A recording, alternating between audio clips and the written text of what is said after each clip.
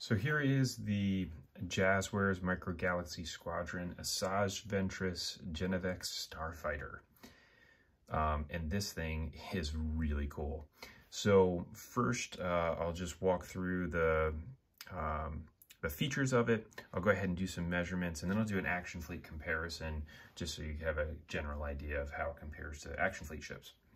So first, just looking at the box. So it actually comes in a great display here. Uh, all of the figures, like they have here with all of the Jazwares, they're all inside of this individual package, which is a really nice feature, um, depending on how you'd want to display the figures, but it's pretty cool to actually have them in there. And then uh, as we flip it over, we get an opportunity to see some of the features of it, uh, and then some of the other ships that are in the line. So um, now if we go ahead and look at what it comes with, so you actually do get a stand. So this is one of the only versions that we're getting a stand with here in the first line. And then um, also, um, like all of these uh, Jazwares products, they come with a little folding card here that's actually in the bottom that has the um, the logo and everything on it. So it's nice to be able to display this uh, like that so you have some type of a small background. Um, but uh, either way, we'll start first with just the measurements of this. So when it's in this position, when it's in the uh, folded fan position, um, the height here, it's about um, just about four inches from gun to gun. And then from front to back, it's about four and a half, maybe four and three quarter inches. And then when you open it, so, uh, this is so cool.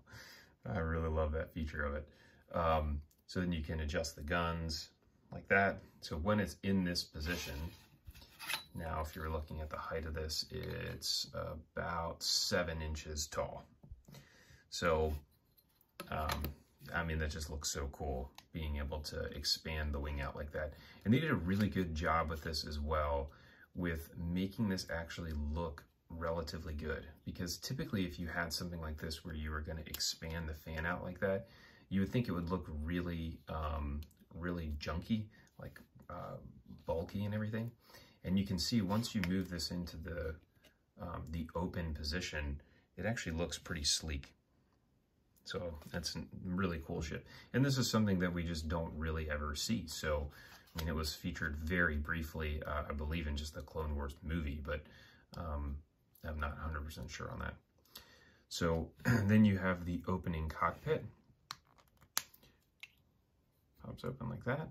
Not really any detail in the cockpit, um, but still pretty cool. Cool color too. I like the color of this one a lot. And then you get um, Asajj Ventress. So she's got her two lightsabers, which is pretty cool. Um, and this has this figure actually has a ton of detail. So I'll see if we can get the detail here on the face. But you can actually see um, they did a really good job here with actually getting her eyes in there. Even though it's not painted, you can still see the detail on there is pretty awesome, especially for a figure of this size. So arms move up, kind of like you have with the other, the other ones. Um, and then uh, also she can um, hinge forward there, the hips. So then if you wanted her to fly in the ship, put her in there, close that, and then she's in. So I really hope that they do more of these stands. None of the actual other items in this line have peg holes for them to be able to be on stands. Um, but this one um, actually does come with a stand and it looks really nice. So it's got the Star Wars logo on it. Um, you know, it's got whatever this detailing is, it's on the side. And then you can see you got the two peg holes on the bottom. So you just plug this in that and it can stand up. Now it'd be really cool to have an opportunity to be able to expand the wings out and have it stand up, but obviously there's limitations. You have to stop somewhere. So um, either way, I think this is really cool. Love this one. And then if we're looking at it relative to uh, another Action Fleet ship, so if we just use the TIE Fighter as a comparison, um, here you can see the TIE Fighter is obviously a lot bigger, so it doesn't scale very well with this one. I don't think, I don't know, I'm not really a scale expert. This is what it looks like from the side. And then from a figure perspective, again, figure's an inch tall, just like all the rest of them. And the action fleets are an inch and an eighth. So there you go. So could you fit an action fleet figure inside of this? So if we took a TIE pilot and try to put him in there, there we go, he fits. And so I've been seeing that a lot with these, that sometimes the action fleet figure will actually fit in it, sometimes it won't. So I think it's going to be a toss-up there. Um, for the most part, they'll fit in a lot of the ships.